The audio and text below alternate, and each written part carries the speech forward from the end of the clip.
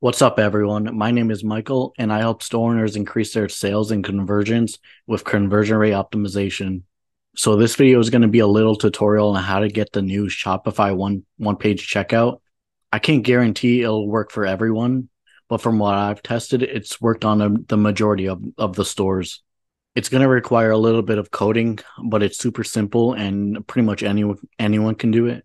Um, as you can see right here, it's the one page checkout. Uh, and then if we look on mobile, it looks very good. So first thing I suggest everyone to do is duplicate their live theme. So let's say if you mess up anything, you still have a backup of your uh, live theme.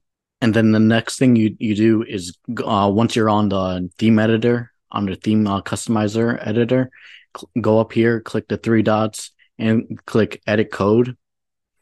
And then once you're on the edit, edit code page in the search bar, search up cart. And then since I'm on the Sense theme, uh, you're going to be looking in two places. Uh, each theme is different, but on the new um, 2.0 themes, pretty much everything is the same or similar. So we're looking on the Sense theme on the cart drawer snippet. And then for the cart page itself, it's going to be called car, uh, main cart items. And the thing that we're looking for on these pages is uh, the form tag. So once you, you can uh, click Command F if you're on Mac, and then just search uh, the this the form. And then once you find this action tag right here, all we're gonna do is replace it with this uh, text right here. So action and then slash checkout question mark force underscore checkout equals re- redesign.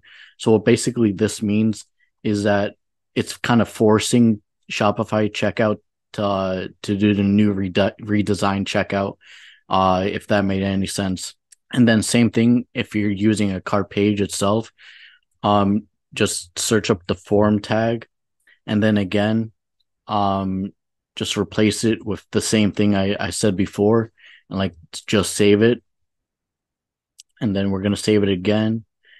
And then if we go back, uh, let's just refresh this, go on the home page, and then cart and go to checkout.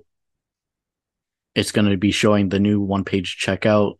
And it that pretty much so simple to do. Hopefully you got some value out of that. And I also have my own e-commerce Discord server. Um, so if, if you want to join that, I'll leave the link in the description. And if you want to learn more about how to better optimize your store to increase conversions without spending more money on ads, then you can definitely check out my store optimization course that I have over 20 videos on going into detail on each page, like the product page, car and checkout, and much more on how to better optimize your store, talking about each section and what you can do, what what was suggested and what not to do. And then I also released my custom optimized Shopify theme that comes with the course. That it's a pretty much optimized uh, theme out of the box with lots of features that most themes don't come with. Um, so you'll be steps ahead of your competitors. And then I'll have everything in the description, like I said. And uh, thanks for watching, everyone.